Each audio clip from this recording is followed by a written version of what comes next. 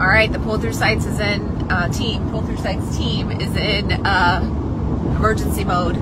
We are headed to rescue somebody at Bass River Resort who can't get their slide all the way in. So got captain over there, chief tech, got our other tech en route uh, to the campground, and we're gonna go rescue some people that can't get their slide in. So if this happens to you on a Sunday or a Monday of a holiday weekend and you need help, give us a call um, and we will try to get to you as soon as we possibly can and come help you out.